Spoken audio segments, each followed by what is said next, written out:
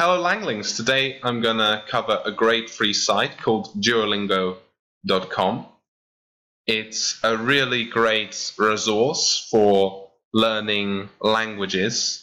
As mentioned, it's for free and I'm just going to show you how to do it. I've skipped a step. You have to register, give your email address, and then you have to choose a language, which you can do here. Here you can see all the languages I'm learning and you can just add a new course here like that. Anyway, so I just want to show you as to a drive-through of this program. It's uh, pretty good. Don't need that. Anyway, so here we're just learning some basics. So let's let's let's do this, and uh, this keeps coming up, which is great. Anyway, so here you've got to try and translate the woman, I guess it's this woman here, mulher.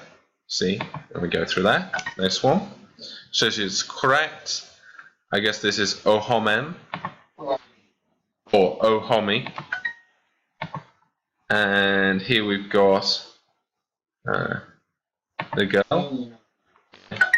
Great. Uh, next one, the boy.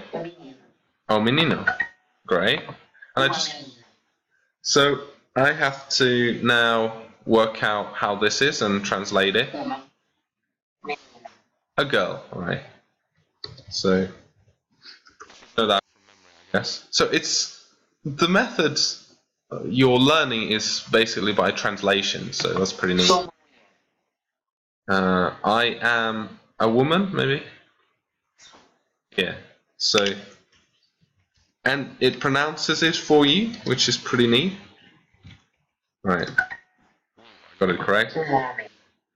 Uh, this is a man. And yeah, you can do this in all kinds of uh, uh, languages. You can usually say, for example, you're Russian or you're Czech or something you can only do like Czech to English, right? Or Russian to English. But if you're going from English to another language, it, there's like, I think, 20 options or so on. So that's pretty decent. Oh man, the girl. So I got that wrong. Euso. Okay.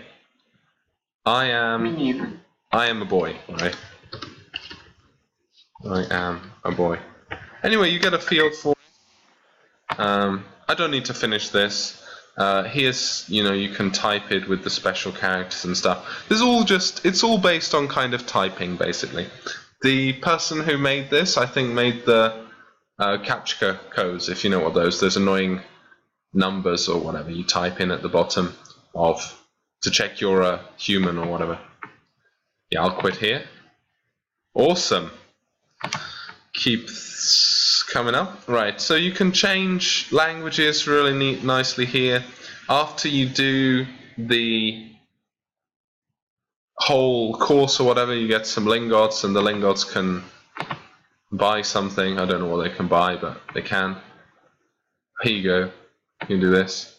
And it's all about getting streaks, so using the, the program for you know days in a row, then you get extra things, and you can have time practice and so on.